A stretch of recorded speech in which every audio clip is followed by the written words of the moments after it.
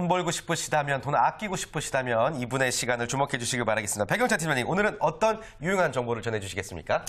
네, 그 최근에 이제 금융시장의 화두라고 할 수가 있는데 이제 절세에 대한 얘기가 많이 네. 그, 어, 논의가 되고 있습니다. 네. 그 특히나 아, 좀 자산이 좀 있으시다고 하는 분들 벌써 움직였죠. 그래서 이제 비과세 상품 같은 쪽에 아, 시한들이 이제 끝나는 부분들이 있어서 빨리 움직였습니다. 그래서 이러한 트렌드에 맞춰서 많은 분들이 뭐 은행이라든가 증권사를 통해서 뭐 자산관리사를 통해 많은 정보를 이제 습득을 하시게 될 텐데 네, 저희 같은 이제 서민들은 뭐 그런 어, 딱히 방법들이 좀 많이 노출이 돼 있지 않다 보니까 놓치게 되는 부분들이 좀 많이 있을 것 같습니다. 그래서 아, 절세에 관련된 돈이 되는 전략들을 오늘 한번 좀 소개해드리면서 차근차근 돈을 모으시는 방법들 알려드리도록 하겠습니다. 아, 그러면 돈이 별로 없는 사람들도 참고해도 좋은 내용들 전해주 실 거죠? 네, 맞습니다. 왜냐면 이게 세금이라는 게 절세라는 게 이렇게 돈 많으신 분들만 하시는 게 아니라 네. 서민들도 다 세금에 관련돼서 그 준비하셔야 될 것들이 있거든요. 버릇을 들여놔야죠, 네, 우리가. 그렇죠. 근데 예. 모르기 때문에 좀 세금은 어렵다고 생각하시기 때문에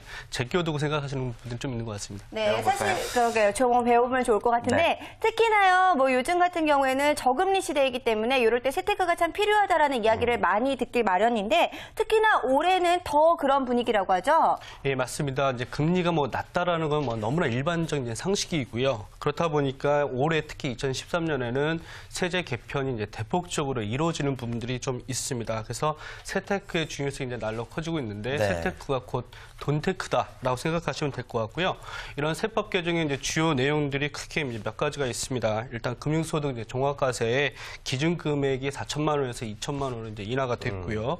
장기 저축성 보험 같은 경우는 어, 그 중도 인출했을 때 종전에는 이제 비과세였는데 이제 과세를 하겠다 이런 얘기들이 나오고 있습니다. 또한 10년 이상 장기 채권에 대한 분리과세가 이제 요건이 강 화가 되고 있고요.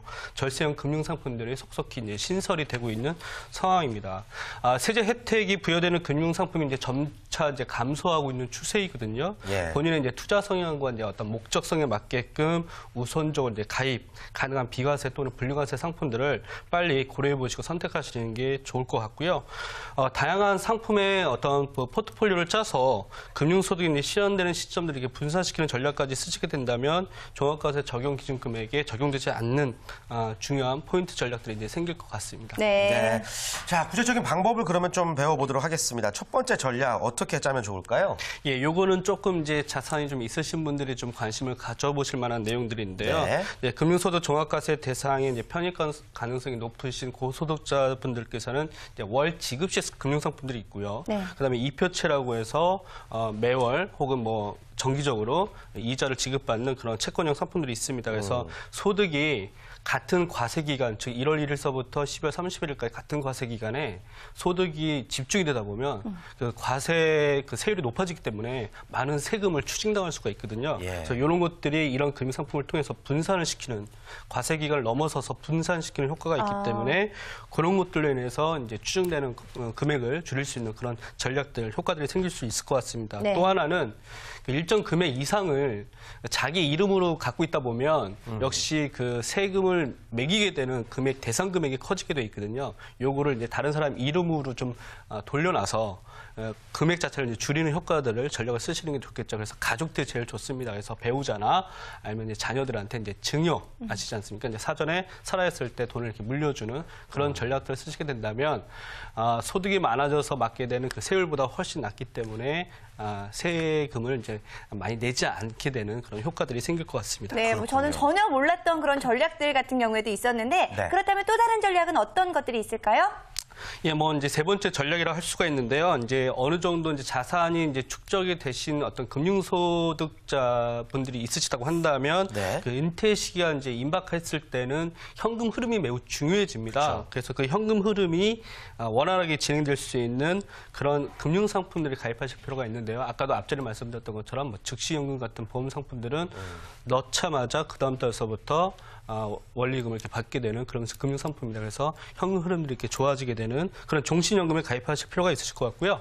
그 다음에 이제 넷째로는 이제 재형저축 전에 한번 말씀을 드렸던 것 같은데 네. 재형저축이나 그 장기 펀드 가입 요건들이 매우 좋아져서 근로자나 이제 자영업자 같은 경우는 당장 나입하지 않더라도 아, 요건을 충족한다면 2015년 이전에 계좌를 개설해 두는 것이 아주 좋을 것 어. 같습니다. 네. 재형저축 이야기 저번에 잠깐 했던 것 같은데 이제 본격적으로 등장을 하는 건가요? 예, 맞습니다. 이번에 이제 세제가 개편이 되면서 1995년에 아, 아, 어, 폐지가 됐었는데 18년 만에 이제 부활하게 됐고요.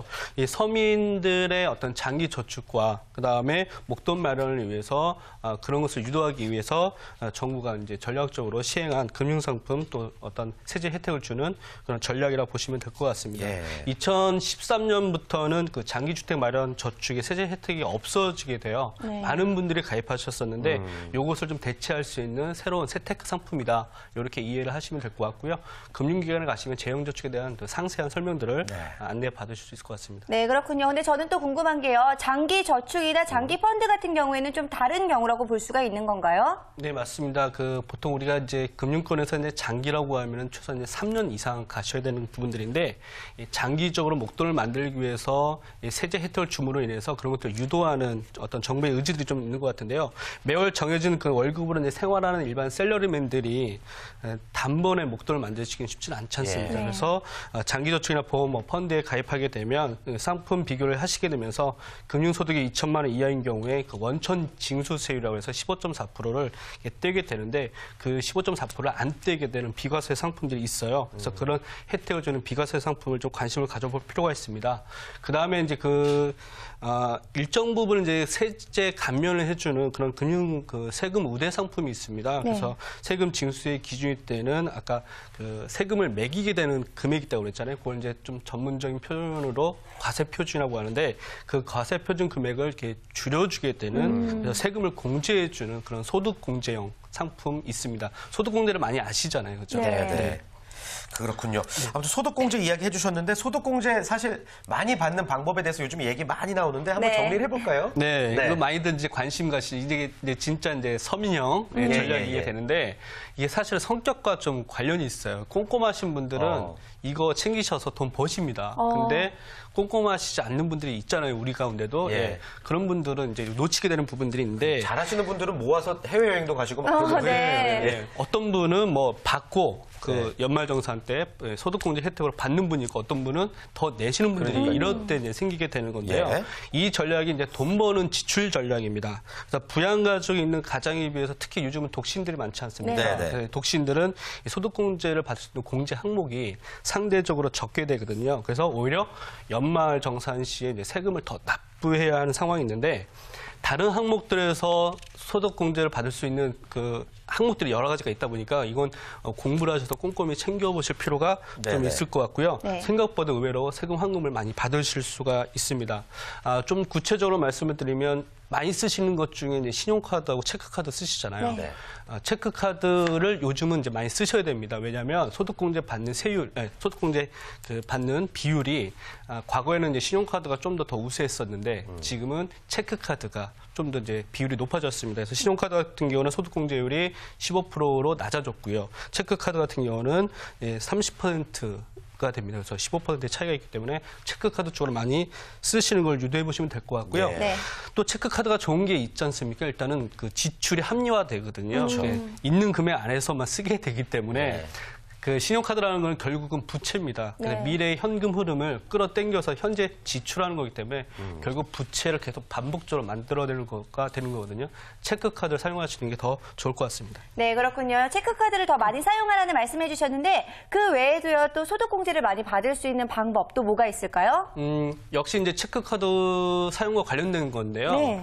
어, 체크카드 사용할 때뭐 일시불 이제 쓰시는 것도 있지만 우리가 쉽게 놓치는 것 중에 핸드폰 요금 내시는 거, 예. 그다음에 뭐 점심 값 이런 것들 다 현금으로 처리하시잖아요. 근데 이런 것들 아, 체크카드를 사용하시게 되면 아까처럼 그 체크카드 한도 내에서 풀로 다 이렇게 공제를 받으실 수 있는 그런 점심값도요? 네, 그런 것들 카드로 결제를 아, 하시면 돼요. 네. 체크카드로. 네. 그 저도 많이 뭐 어, 활용하고 있지만 뭐 전신가 뭐 5천 원, 6천 원, 뭐 비싼 데는 뭐 7천 원, 8천 원인데 예, 카드 안 받을 것 같잖아요. 네. 근데 다 받습니다. 예, 안 받는 데가 오히려 잘못된 거고요. 그래서 네. 꼭 체크카드로 활용해 보시는 게 좋을 것 같습니다. 네. 그렇군요. 소득공제 상품 활용하는 것도 또 좋은 방법이죠. 여러 가지 있죠. 네, 예. 소득공제 이제 상품을 잘 활용하면 돈도 벌고 이제 저축도 할 수가 있는데 그 소득공제 상품의 가사의 표준이 이제 줄어들게 되는 차감되는 효과가 생기게 되면서요 직장인들이 매우 선호하고 있는 겁니다. 많이들 아시겠지만 주택 천약 종합저축 상품이 있지 않습니까? 네. 목적은 내 집 마련을 위해서 준비하시는 건데 소득공제를 받으실 수가 있게 되세요. 네. 무주 대책자이시면서 이제 근로소득이 있으신 분들은 아, 납입하시는 금액, 연간 납입하시는 금액의 40%까지 공제를 받으실 수 있는데 어. 어, 40%까지면 뭐 무한정 받는 거냐? 아, 그건 아니고요. 한도가 있나요? 예, 한도가 있습니다. 48만 원까지 소득 공제를 받으실 수가 있기 때문에 상대적으로 상당히 괜찮은 상품입니다. 네. 그다음에 올해 그 연금 저축 상품이 세제 개편이 많이 됐는데 연금 저축 상품 다들 가입하고 계시잖아요. 네. 그래서 아, 연금은 노후를 위한 준비 이 준비하는 상품에서 꼭 필수적이지만 세제 효과 면에서도 아주 꼭 필수적입니다. 그래서 아, 노후 준비를 하시면서 받게 되는 그런 여러 가지 혜택과 더불어서 세제 적인 측면에서는 아, 한도가 좀 늘어나게 됐고요. 의무 납입 기간도 좀 줄었습니다. 그래서 의무 납입 기간 같은 경우는 이제 종전에 10년까지 납입을 해야 소득공제를 다 받을 수가 있었는데 지금은 5년까지만 의무 납입하시면 되고요. 그다음에 5년만 유지를 해도 공제 다 받게 되십니다. 네. 이런 상품들 좀 주목해 보시 면 좋을 것 같아요. 네, 그렇군요. 자, 오늘 직장인 절세, 어, 절세민, 절세미남이 대전을 위해서 절세 전략 대해서 알아봤습니다. 백윤아 지사님, 다음 주에도 알찬 정보 또 전해주시길 바라겠습니다. 고맙습니다.